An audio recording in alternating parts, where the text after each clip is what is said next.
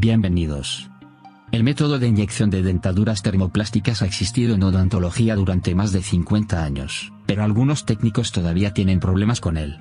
Hay diferentes situaciones, pero algunos problemas siempre se repiten. Intentaré discutirlos todos.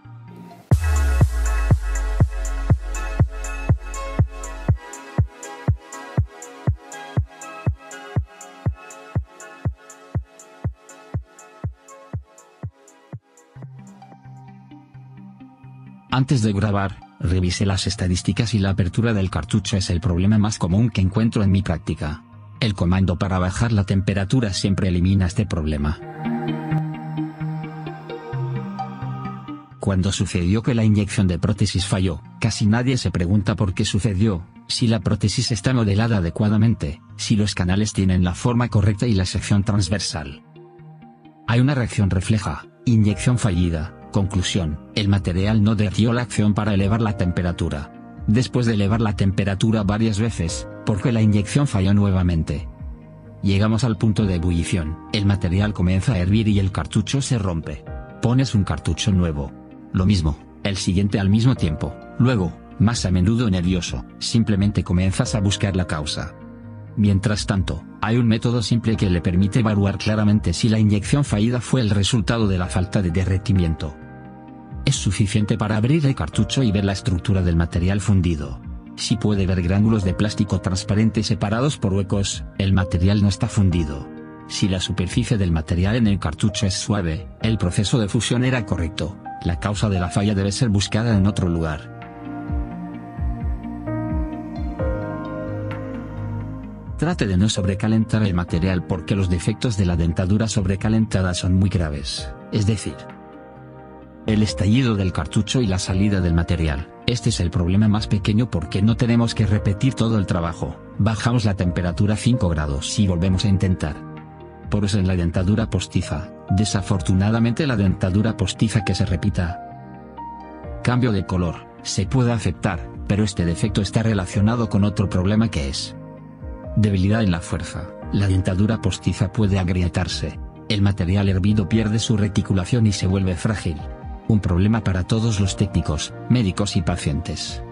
Si encuentra que la falla de la inyección se debe evidentemente a parámetros de fusión configurados incorrectamente, intente extender el tiempo primero y trate el aumento de la temperatura como una última necesidad. Pero si el material está fundido y la inyección falla, ¿cuál podría ser la causa?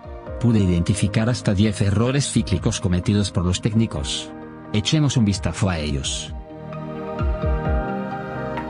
Empieza a buscar los motivos del fallo con las cosas más sencillas, es decir, comprueba que has conectado la presión. Puede ocurrir que no haya comprobado la presión en el momento de la inyección. Cuando encendiste el compresor, la presión estaba bien, pero podría suceder que se saliera del compresor por alguna fuga, Recuerda que la desventaja de los compresores es la presión inestable. Si configuras un valor de, por ejemplo, 8 bar en el compresor, no hay garantía de que sea así durante la inyección porque la presión baja y el compresor se enciende solo, por ejemplo, a 6 bar, por lo que nunca estás seguro. ¿Cuál es la presión en el momento exacto de la inyección? Los valores de encendido y apagado del compresor se pueden configurar, pero siempre hay alguna caída de presión. También puede haber una situación en la que su colega haya usado aire comprimido para el pulido con chorro de arena y, en el momento de la inyección, la presión en la máquina de inyección era mucho menor. Por otro lado, cuando usa un cilindro, a menudo se olvida de desenroscarlo. Después de finalizar la inyección, apaga el cilindro. Al reinyectar, el medidor muestra el nivel correcto porque la presión permanece en las líneas, pero en el momento de la inyección hay muy poca presión para llenar el actuador. Siempre verifique la presión exactamente en el momento de la inyección. Con una dentadura grande, puede suceder que el cartucho se quede sin material. Mire el cartucho. Si está muy aplastado, no tiene plástico. Corte y abra el cartucho. Si no hay material dentro de la cubierta, la dentadura postiza era demasiado grande y no había suficiente material para rellenarla. Intente modelar una placa de dentadura más delgada. Corte el modelo y coloque la dentadura lo más cerca posible del canal de la mufla para mantener la longitud del canal al mínimo. El plástico de los conductos es un desperdicio de material valioso. La causa principal de las fallas de inyección son los canales mal modelados.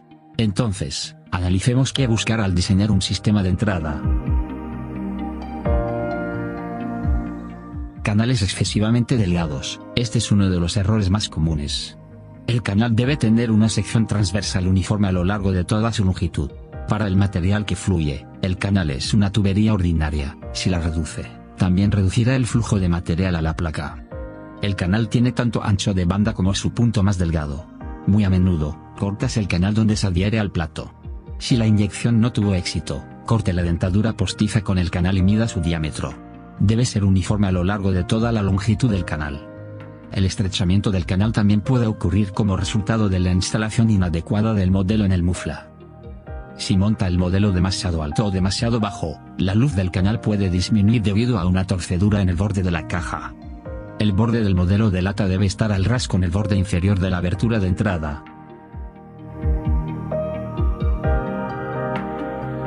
Los canales deben estar orientados en la dirección del flujo del material, y fijados al comienzo de la placa para facilitar el llenado del molde. Por lo tanto, no los modelen en ángulo recto demasiado profundamente. Recomiendo encarecidamente usar un canal. En el caso de las dentaduras postizas completas, se puede agregar un canal auxiliar adicional. Por supuesto, también debe modelarse en la línea de flujo del material.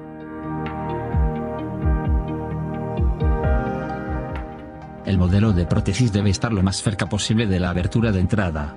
Demasiada distancia aumenta la pérdida de material en los canales, y al aumentar la ruta de flujo del material a la prótesis, aumenta el riesgo de falla en la inyección.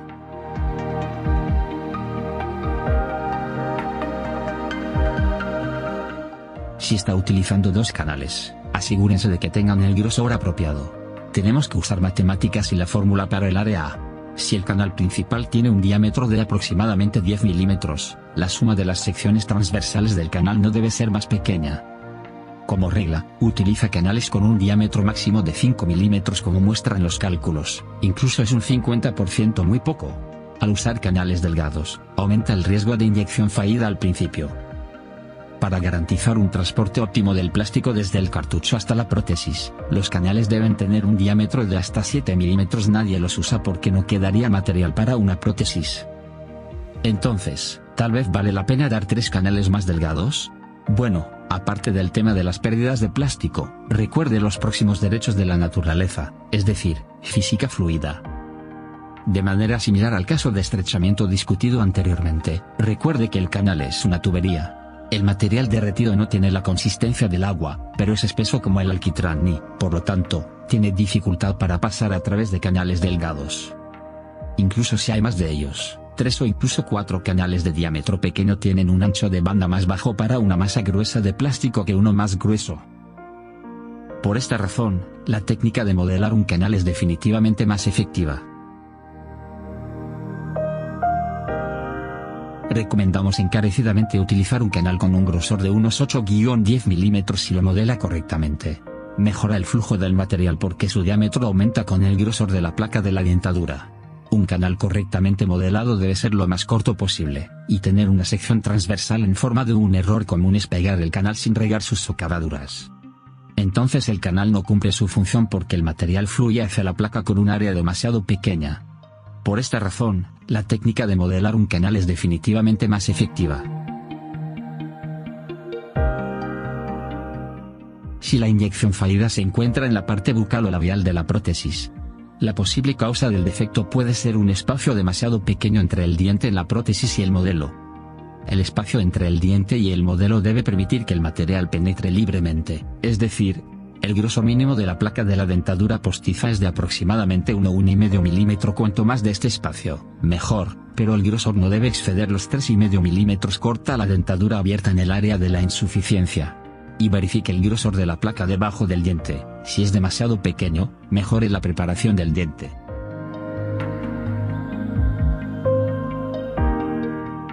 Verter demasiado material es un error común cometido por las personas que están vertiendo el material por su cuenta temen que no haya material para una prótesis, y esté vertiendo el granulado llenando todo el cartucho. El cartucho tiene una capacidad específica y no debe llenarse debajo del límite. Cuando vierta, deje el espacio durante al menos 2 centímetros si vierte demasiado material, su parte está fuera de la zona de calefacción, y la máquina de moldeo por inyección no tiene posibilidad física de derretir su capa superior. Si tiene miedo de si el material es suficiente para una prótesis, haga todo para reducir los canales, y dar forma a la placa de la dentadura postiza para no procesarlo más. Esto es definitivamente suficiente.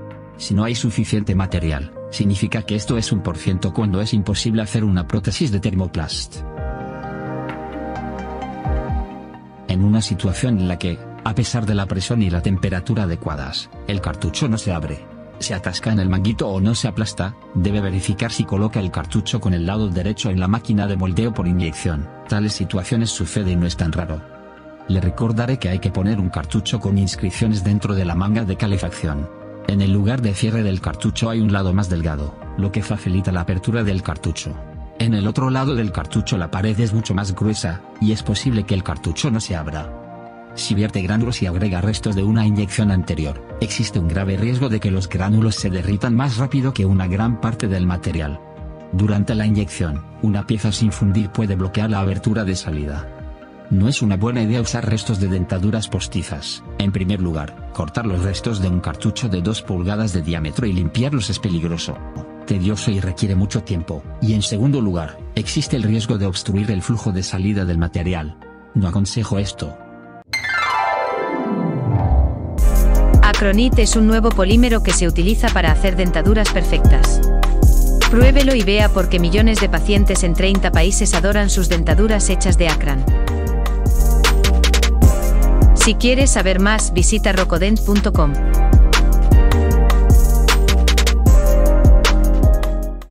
Compruebe si el pistón de trabajo no está sucio con restos de tubos de aluminio, si hay mucha suciedad, el pistón puede atascarse en el manguito. Si no limpia el pistón, después de varias docenas de inyecciones, su superficie puede ensuciarse con residuos de inyecciones anteriores. Retire el pistón, por supuesto, cuando esté frío, retire los restos con un cuchillo y limpie con un paño. No procese la superficie del pistón con cortadores, este elemento es preciso si destruye su superficie comenzará a bloquearse con más frecuencia. Si el pistón está agotado, simplemente reemplácelo por uno nuevo, El lubricante adecuado tiene una gran influencia en la calidad de la inyección. Debe asegurarse de que el cartucho se deslice en el manguito a una temperatura de hasta 400 C. No puede dejar depósitos de carbón y otros residuos. Para que el cartucho de plástico se mueva correctamente en el manguito, su superficie debe ser perfectamente lisa y resbaladiza. Si la lubricación es deficiente, el cartucho se agarrota en el manguito y la inyección puede fallar. Algunos de ustedes usan vaselina, aceites y lubricantes u otras preparaciones que se queman a altas temperaturas dejando negar, y en vez de disminuir aumenta la fricción. Solo se deben usar lubricantes específicos para máquinas de moldeo por inyección dental, como Lubres. Lubres es una mezcla especial de aceites de silicona con tres tamaños de partículas diferentes, que aseguran un deslizamiento perfecto y al mismo tiempo no se escurre hacia la manga. Los técnicos a menudo usan varios sustitutos solo porque son un poco más baratos. Este es un ahorro aparente. Todo lo que necesita es una inyección fallida debido a un mal lubricante, y sus ahorros no salieron según lo planeado, y no cuento los problemas que surjan del modelado repetido y la repetición del trabajo. Y no te excedas con el ahorro de grasa. Para hacer su papel debe ser la cantidad adecuada. Una cantidad demasiado pequeña no producirá una capa resbaladiza, y la resistencia del cartucho en el manguito puede ser demasiado grande, La probabilidad de que su máquina de moldeo por inyección se sobrecaliente es mínima. La máquina de moldeo por inyección como toda máquina, por supuesto, requiere control y calibración de vez en cuando, pero no debes excederte, y más aún calibrarla tú mismo usando termómetros de aficionado. Tales mediciones conducen a la descalibración completa del dispositivo e incluso a problemas mayores. La calibración debe ser realizada por un servicio profesional.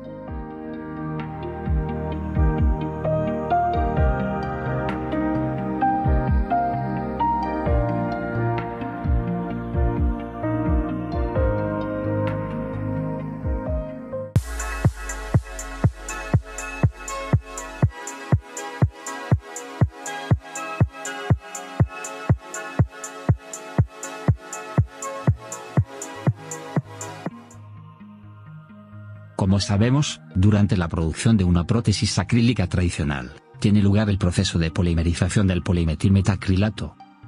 El monómero contenido en la masa acrílica disuelve la superficie de los dientes artificiales y los une con el acrílico polimerizante. No hay monómero en las dentaduras termoplásticas, por lo que no es necesario disolver los dientes. Para conectar dientes de acrílico con termoplásticos, se debe realizar una conexión mecánica. La fuerza de unión entre el diente y la placa de la dentadura, y la estética de su trabajo dependerán de la calidad de esta preparación. Un diente bien preparado se integra con la placa de la prótesis de termoplástico tan firmemente como lo está con la placa de la prótesis de acrilato. La fuerza de la fijación está asegurada por una junta mecánica, es decir, un escalón en el perímetro del diente, y agujeros en forma de T. Sin embargo, los errores en la técnica en la etapa de preparación del diente pueden debilitar esta conexión.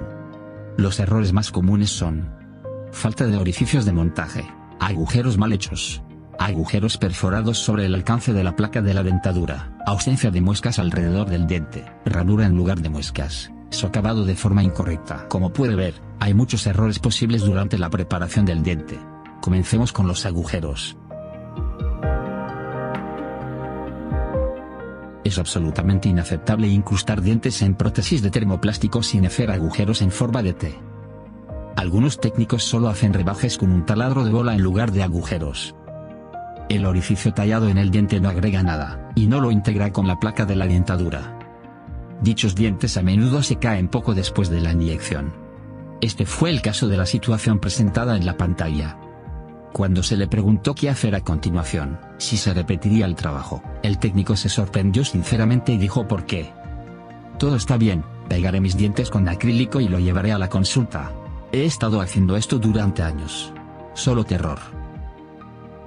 La preparación correcta del diente para la tecnología de inyección consiste en realizar tres orificios con un taladro de un diámetro aproximado de 1 a 2 milímetros, un orificio debajo, dos a los lados del diente, importante, debajo del borde de la muesca. Los agujeros deben conectarse entre sí.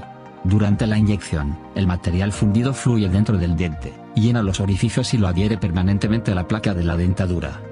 ¿Cómo puedes estropearlo? Parecería una actividad simple, sin embargo, esto demuestra que puedes hacerlo. Es un error hacer solo el orificio inferior. El orificio realizado en el eje del diente no proporcionará la retención adecuada. Estas son simples leyes de la física. Es un error hacer solo agujeros laterales porque es el agujero inferior el que transporta la mayor masa de plástico. Además, puede suceder que, por alguna razón, el material no fluya hacia la abertura lateral desde el exterior pero puede fluir a través del canal inferior, llenar el espacio y salvar la situación. Es un error hacer un agujero por encima del alcance de la placa de la dentadura. Es lógico que si el orificio está por encima del material inyectado, es posible que el material no fluya por ahí.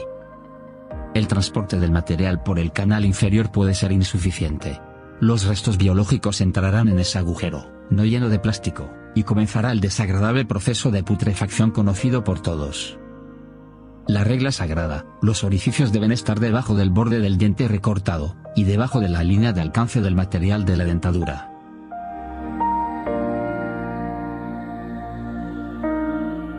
Debe esforzarse por crear la máxima fuerza de la conexión del diente con la placa de la dentadura. Por lo tanto, además de perforar agujeros, se debe realizar un socavado del borde del diente a lo largo de su perímetro. El socavado tiene tres funciones muy importantes. En primer lugar, aumenta la retención del diente con la placa. En segundo lugar, sella el límite del contacto entre el diente y la placa. En tercer lugar, mejora la estética de la prótesis. La función de retención está asegurada por una forma trapezoidal apropiada de la muesca, que se hace con un cortador de cono invertido. La forma trapezoidal, más estrecha en la parte superior y más ancha en la parte inferior, aumenta la fijación del diente en la placa de la dentadura. Es un error hacer un socavado con paredes rectas.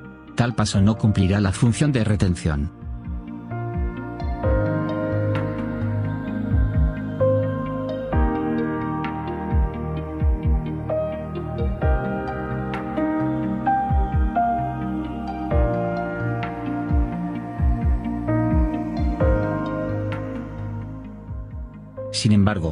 Función más importante del socavado es el sellado circunferencial del borde entre el diente y la placa de la dentadura. Eso sí, recordemos que el diente de acrílico no se une químicamente con el termoplástico. Por lo tanto, si no hacernos una socavación en el diente, se formará una bolsa entre la superficie del diente y la placa de la dentadura. en la que se introducirán los desechos biológicos al masticar los alimentos. El resultado de la acción de la bacteria será un hematoma en el bolsillo y un olor desagradable. Un socavado hecho correctamente elimina este problema. Sella eficazmente la conexión entre el diente y la placa de la dentadura, y evita que se depositen restos de comida. El requisito previo es la profundidad de preparación que asegure la rigidez adecuada del material, es decir, al menos un milímetro. Pero este es el mínimo, si es posible, haga una muesca de hasta 2 milímetros de profundidad.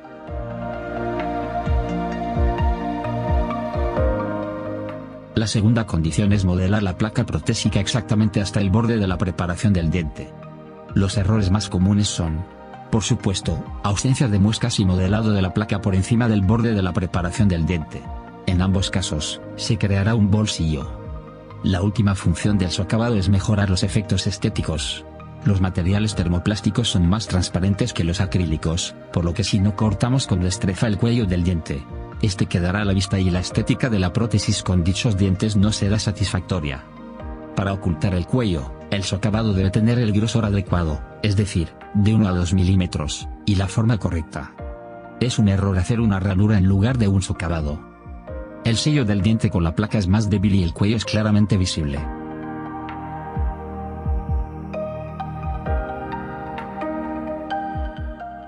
Es un error hacer una ranura en lugar de un socavado.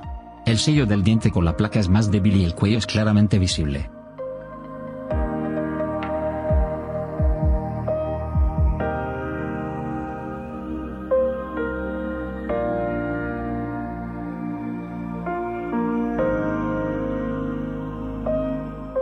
En este punto, me gustaría señalar la atención a la longitud adecuada del diente. En la tecnología tradicional, durante el enmuflado, los dientes se colocan sobre acrílico, por lo que la distancia entre el diente y el modelo no importa. En la técnica de inyección, la distancia entre el eje del diente y el modelo de yeso debe ser lo suficientemente grande para asegurar un flujo libre del material inyectado desde el lado del canal hasta la parte bucal labial. El espacio mínimo es de 1,5 milímetro en general, cuanto más mejor.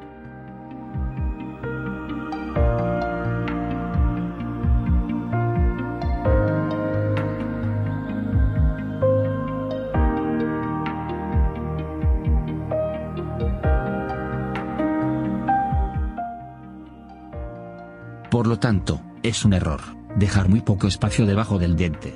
Como resultado de lo cual la prótesis no se inyecta desde el vestíbulo, la mayoría de las veces, las abrazaderas no se inyectan. Luego, los técnicos usan algunos métodos extraños. Como canales adicionales que alimentan las abrazaderas de la aurícula, que pueden ser efectivos hasta cierto punto, pero innecesarios. Basta con cortar la dentadura no inyectada, y comprobar si hay suficiente espacio debajo del diente. No siempre es recomendable tener una gran cantidad de espacio entre el diente y el modelo. Bueno, en el caso de una fuerte desaparición de la cresta, hay una situación en la que la atrofia de la cresta del paciente debe complementarse con material. En primer lugar, es un gran desperdicio de material, y debemos recordar que estamos limitados por la capacidad del cartucho. En segundo lugar, se crea un sistema tecnológicamente desfavorable, una placa palatina delgada pasa a un espacio grueso debajo de los dientes y luego a una placa vestibular delgada, entonces puede surgir el fenómeno de la formación de una cavidad de contracción, conocido en la fundición de metales. A medida que se solidifica, las partes delgadas de la placa se enfriarán más rápido. Y tratarán la masa de material debajo de los dientes como un reservorio para compensar su contracción, como resultado. Aparecerá una cavidad de contracción en el punto más grueso de la placa. Dentadura. Al modelar una prótesis con una fuerte atrofia del proceso, vale la pena dejar un eje de diente suficientemente largo, llenará el espacio, reduciendo el desperdicio de material y el riesgo de formación de encogimiento. La preparación de los dientes es una actividad muy sencilla, pero, paradójicamente, muchas veces se realiza de forma incorrecta. Desafortunadamente, rara vez veo dentaduras postizas con dientes debidamente preparados. Tengo la impresión de que los técnicos subestiman el papel de la preparación de los dientes, mientras que el impacto de los dientes correctamente preparados en la calidad de la dentadura es importante.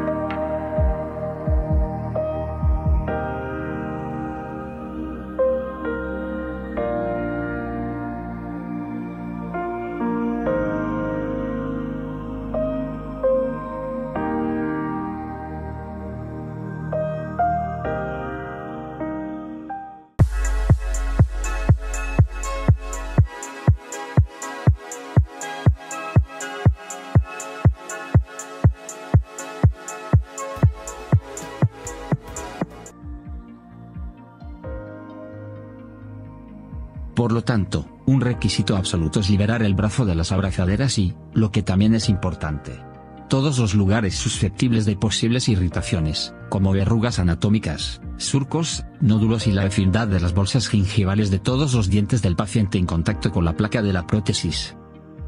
Creamos el relieve con cera sobre el modelo primario, luego duplicamos el modelo preparado con yeso y solo entonces continuamos modelando la prótesis.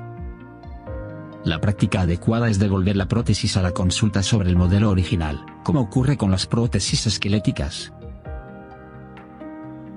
En primer lugar, confirma que hemos realizado los pasos de alivio y duplicación, y en segundo lugar, le da la oportunidad al dentista de realizar una evaluación preliminar de la prótesis y posibles correcciones. Multipress es una máquina que permite la inyección efectiva de prótesis de cualquier material, y la completa automatización del proceso facilita el trabajo de los técnicos con menos experiencia. Si quieres saber más, visita rocodent.com. La no realización del relieve y duplicado del modelo descalificará completamente la prótesis. Tal comportamiento debe ser absolutamente estigmatizado porque tales pseudoprótesis, en lugar de mejorar la comodidad de vida del paciente al reconstruir el sistema oclusal, lo destruyen irreversiblemente. Desafortunadamente, cada hebilla de una dentadura postiza sentada, ya sea una dentadura postiza de alambre acrílico o de plástico, de una dentadura postiza de nylon, dañará la bolsa gingival mientras se asienta. ¡Qué belleza de dentadura postiza! Por otro lado, una prótesis de material rígido como, por ejemplo, Acron, puede equiparse con soportes y no se asentará también como una prótesis esquelética metálica no se asentará. Y el efecto de sus abrazaderas sobre el periodonto será neutral. Salvo que el técnico no quisiera relevar y duplicar el modelo. Desafortunadamente, lamento decir que esto sigue siendo una práctica común.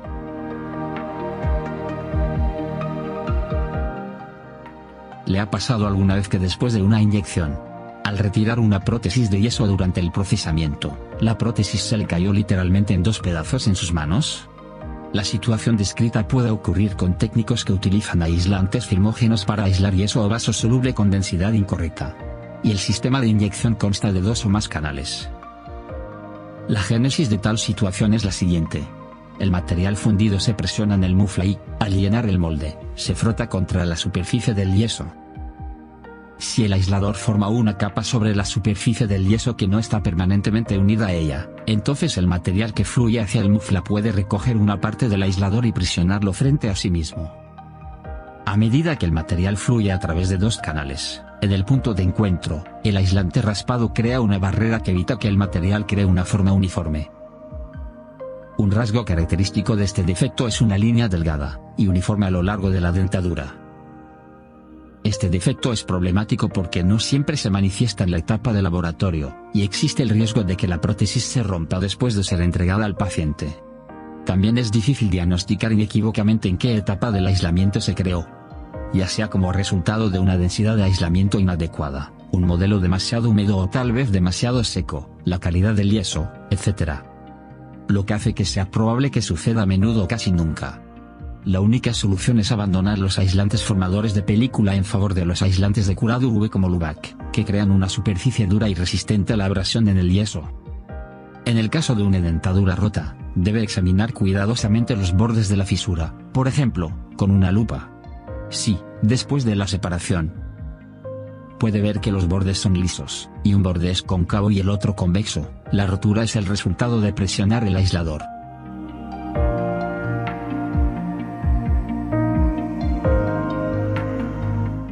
Los defectos más difíciles de diagnosticar son los poros en la placa de la dentadura.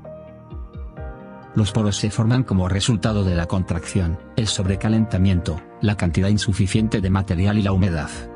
Los poros de contracción son el resultado de la contracción desigual de la masa plástica fundida, y se ubican en la placa de la dentadura al lado del canal de infusión o debajo de los dientes. He discutido el análisis detallado de la formación de poros debajo de los dientes y los métodos para evitarlos. On the other hand, the pores located next or at the junction of the channel and the prosthesis plate are the result of narrowing of the channel at the point where it adheres to the denture plate. While cooling down and shrinking, the plate should replenish the material from the channel and the remains in the cartridge.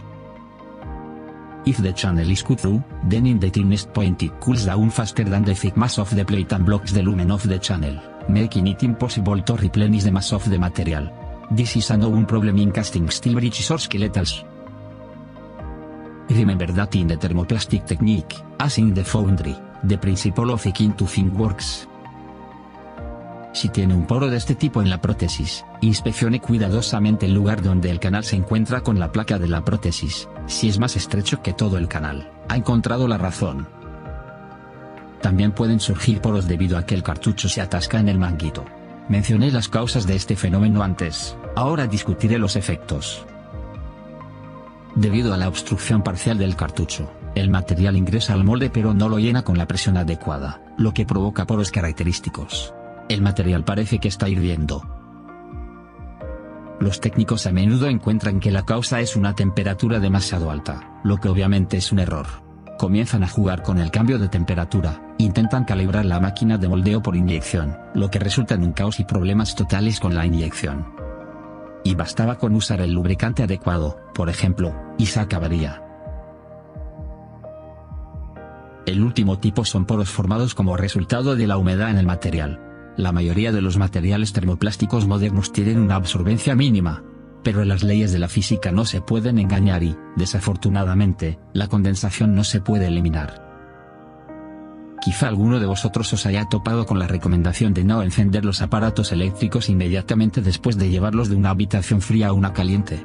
Esta recomendación es causada por el fenómeno de condensación de humedad que puede aparecer en la placa electrónica y puede causar un cortocircuito y falla. El mismo fenómeno de condensación tiene lugar durante el calentamiento del material. La humedad no se asienta en el interior sino en la superficie de los gránulos, y se convierte en vapor de agua durante el calentamiento rápido a 100 grados centígrados. Recuerde que el material se calienta hasta 300 grados centígrados y el vapor crea una enorme presión. En caso de humedad, el cartucho puede abrirse y provocar que se expanda la acumulación de vapor.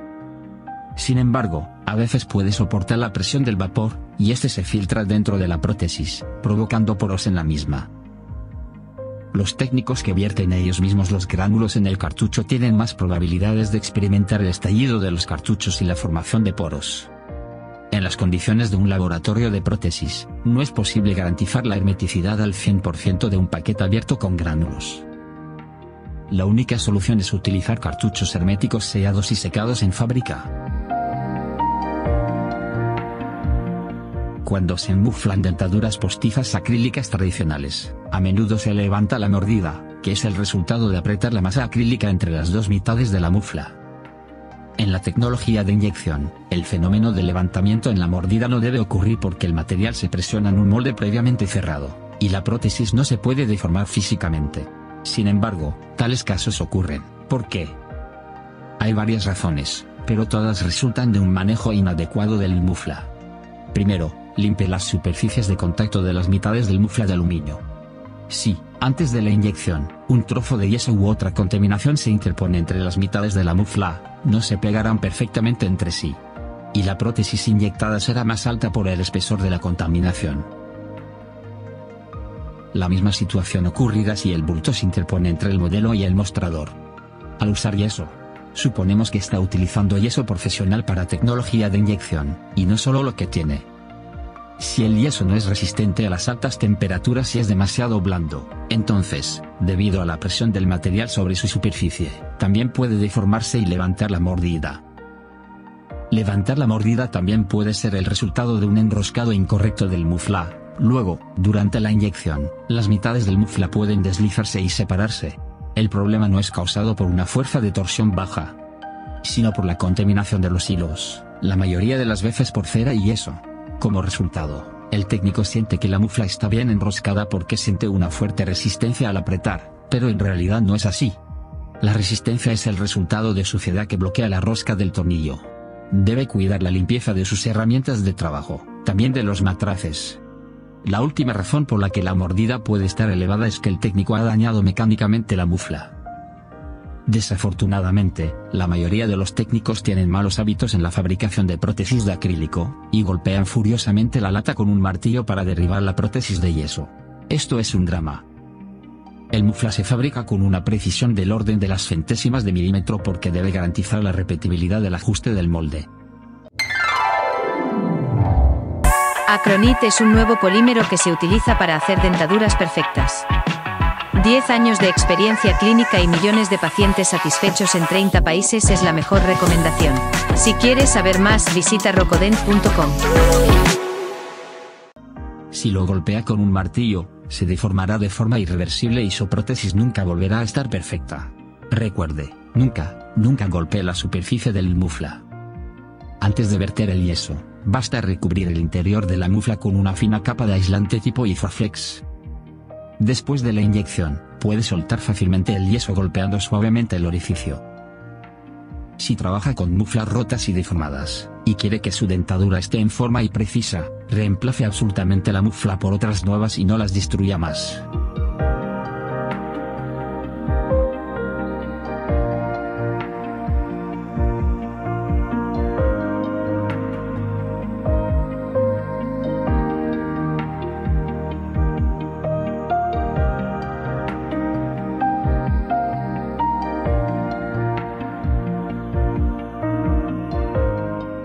Técnica de inyección es simple, solo requiere una cosa, el cumplimiento de las reglas.